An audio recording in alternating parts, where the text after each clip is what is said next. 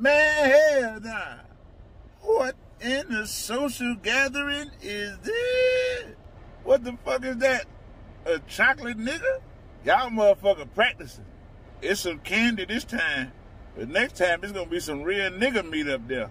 Look at y'all digging in this chocolate ass. Why the fuck would y'all eat something shaped like that? This cannibalistic ass get together. I mean, y'all got some garnish and shit sprinkled over the chocolate nigga. What's that, mint? Is that a big nigga peppermint patty?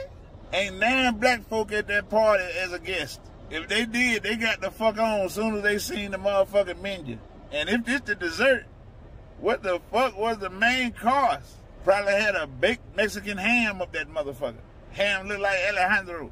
Y'all digging all in the ham ass. It's got a pineapple butthole. Man, I need to stop this shit here, boy. This is ridiculous. You fill me up so much love. I'm so in love.